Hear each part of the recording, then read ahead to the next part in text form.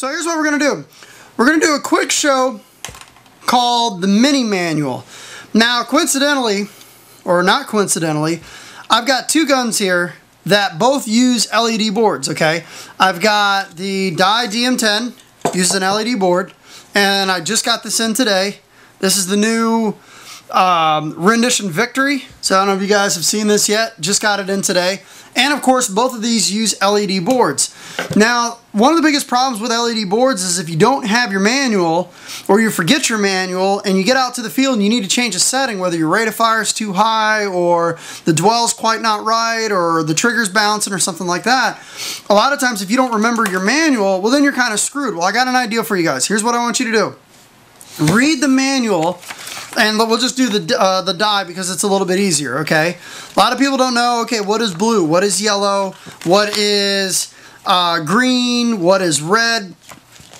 What you do is you open up Microsoft Word and in very small font, like size 6, okay, you put on there, um, you know, green trigger sensitivity, default is 3. Dwell is red, default is 18. Rate of fire. Now, you obviously want to know what you're, if you're doing capped or uncapped or whatever. Let's say, for instance, now you're going to play the PSP. The rate of fire is 20 clicks, and that's 12 and a half balls per second. So you put on there 20 equals 12.5, and then you put underneath it uh, 45 clicks is 33 balls per second if you're wanting to do semi. And then on yellow, you put on there, you know, one, two, three, and four is semi-auto, millennium, PSP, and full auto. Well, here's what you do. Print the, print it up, and it's going to be small. It's going to be maybe the size of a business card, if you're lucky. Take some tape, like uh, box tape, or you can even use scotch tape. You know, take it, set the DM down, and then what you'll do is, is you'll take the tape and put it over the plate, you know, the area that you printed. Okay?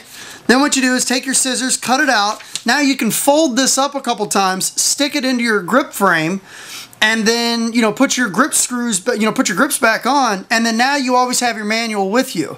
Now if you ever get to the field you're like oh shit i don't know what i got to do you know my, my gun is bouncing or my rate of fire is too high or something like that you can open up your grip frame really quick take a look at your little mini manual read what you've got to change on it fold it back up put it back into your grip adjust your gun and you're ready to go. So hopefully that helps you guys. Uh, when you're dealing with led boards is make the mini manual put it in like font 4 or 5 or 6 whatever whatever printer you're using.